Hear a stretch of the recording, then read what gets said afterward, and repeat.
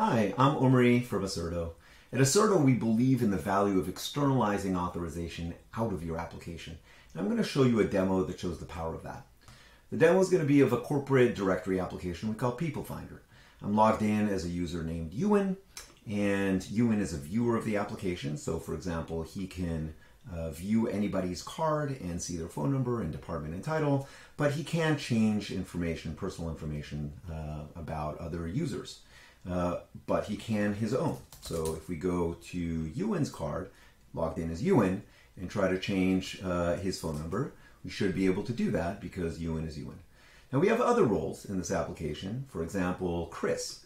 Chris is actually an admin. If we, uh, you know, look at what she can do, uh, she can basically update people, she can delete people, uh, and so on. And that's because she's an admin in this application.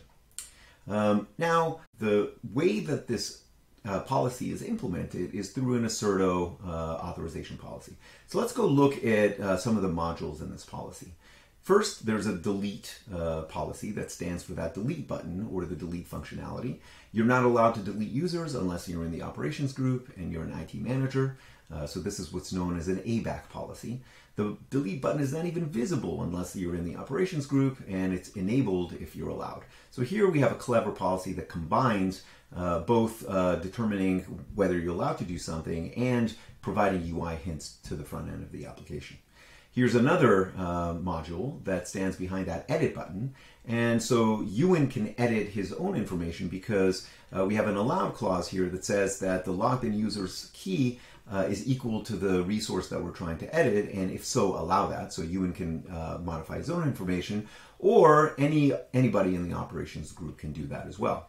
And lastly, the policy that stands behind that update button uh, basically says that only people who are in the operations group are allowed, and the button is enabled only if you're allowed to perform the operation. So far, pretty simple to understand, and we have uh, this commented out uh, block that we'll get back to later. So what if we want to actually add some more functionality to this application and allow a uh, manager to update uh, their directs information? Let's go back to People Finder and look at that particular scenario. So Ewan's manager uh, is April. And if we go to uh, Ewan's card again and see if whether April is allowed to update Ewan, turns out that she can't because she is not an admin. Let's go change that by changing the policy. So let's go back to the console. And now we're going to introduce something called relationship-based access control. So all of this data comes from the Aserto directory, and we can find un over here and see that uh, Ewan has a set of properties. For example, department and the title, all that stuff is stored in the Aserto directory and comes from an identity provider. But we also store relationships, including management relationships. So here we can see that Ewan works for April uh, and April works for Edward, and so on and so forth. And we're going to take advantage of that in the policy. So let's go back to our policy here. And all we need to do is rebind this policy instance to a new version of that policy that we created that uncomments those lines. So we're going to save that change over here. We're going to go back to the modules. We're just going to make sure that that module got updated. When we refresh, as we can see, we have a new allowed clause. It says if the logged in user is the manager of the user that we're trying to update, then allow that operation. And let's go back to the application. Let's go back to Ewan. And as you can see, now April actually has this button enabled. We didn't have to redeploy the application. It's just there. And now April can give Ewan his much uh, deserved promotion to sales manager.